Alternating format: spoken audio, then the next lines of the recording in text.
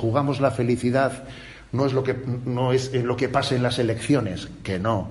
Donde la, felicidad tampoco nos la jugamos en lo que pasa en la bolsa, que no. O sea, donde verdaderamente nos jugamos la felicidad es en lo que pasa en la familia. Ahí sí, ahí sí que nos la jugamos, ¿no? Entonces, eh, la gran batalla del momento presente es esta, es esta, y tenemos que ser conscientes de ello, ¿no?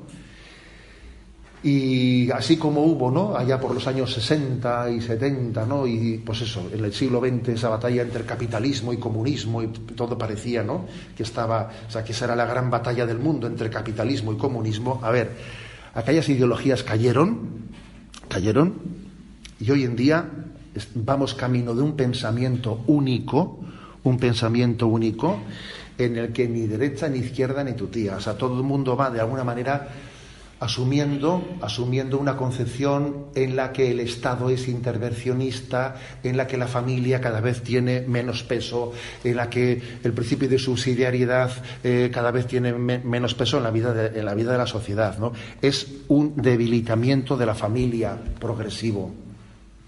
Y eso obviamente tiene muchas consecuencias, tiene muchas consecuencias a la hora de, evangelizar. Si la familia no es fuerte, si la familia no es fuerte, claro, pues es, eh, está a merced ¿eh? de, de, todo tipo de embates exteriores, ¿no?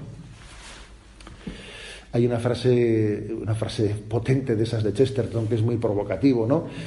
Que dice él, ¿no? Que una familia fuerte es casi como un Estado independiente. Bueno, obviamente la familia tiene que ser solidaria, pero se refiere que es resistente al influjo, al influjo mundano del mundo, ¿no?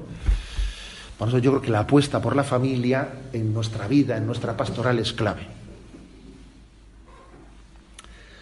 Sexta clave o sexto reto. ¿eh?